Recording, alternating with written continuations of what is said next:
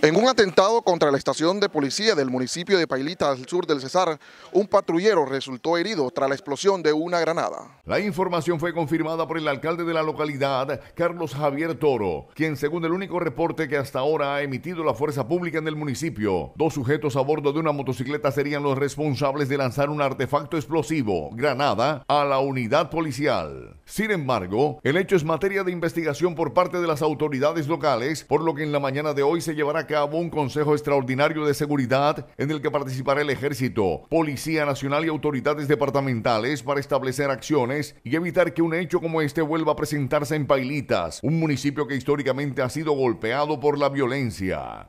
Dos delincuentes a bordo de una motocicleta lanzaron un artefacto explosivo contra la estación de policía.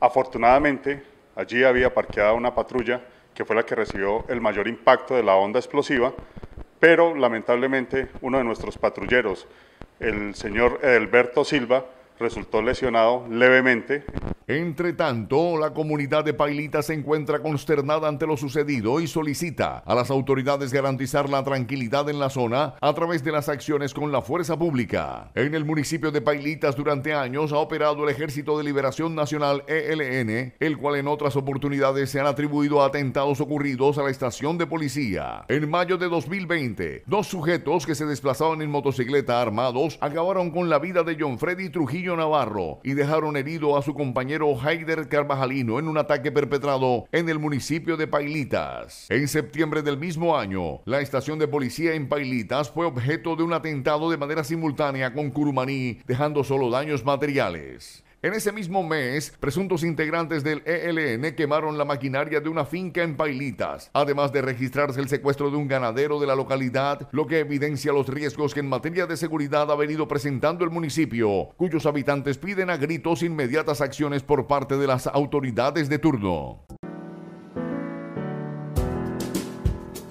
Nueva Clínica de Santo Tomás. Brindamos la prestación de servicios de salud con los estándares más altos en calidad y eficiencia. Aquí nos dedicamos a cuidar cada detalle por el bienestar y tranquilidad de nuestros pacientes y sus familias.